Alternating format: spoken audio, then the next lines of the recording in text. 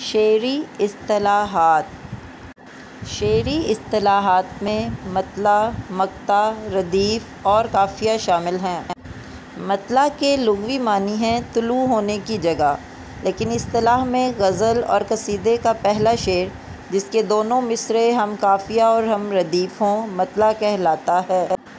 मतला के बाद दूसरा शेर भी, अगर मतला के हम काफ़िया हो तो उसे हुसन मतला कहते हैं। सिलसिले जो वफा के रखते हैं, हौसले इंतहा के रखते हैं।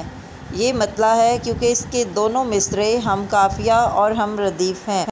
हम कभी बद दुआ नहीं करते, हम सलीके दुआ के रखते हैं।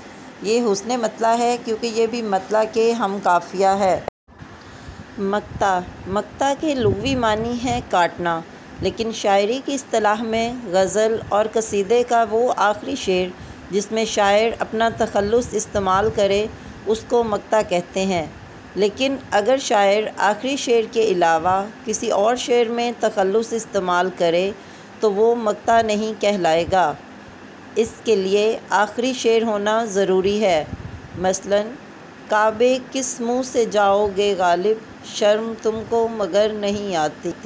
रदीफ़ गज़ल के मतला के दोनों मिसरों और फिर हर मिसरा सानी में आखिरी जूँ का तू और बार बार आने वाला लफ्ज़ या अल्फाज को रदीफ़ कहा जाता है। कोई उम्मीद बर नहीं आती, कोई सूरत नज़र नहीं आती।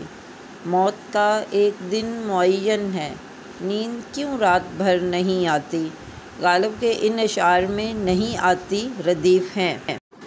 काफ़िया, गज़ल के पहले दो मिसरों और हर शेर के मिसर सानी की रदीफ़ से पहले जो हम वज़न और हम आवाज़, अल्फाज तब्दील होकर आते हैं, उन्हें काफ़िया कहते हैं।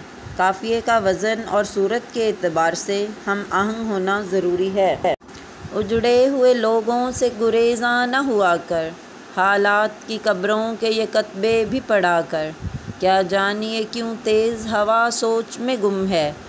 काबीदा परिंदों को दरख्तों से उड़ा कर मुसन नकवी के नशार में हुआ, पढ़ा और उड़ा कवाफ़ी हैं।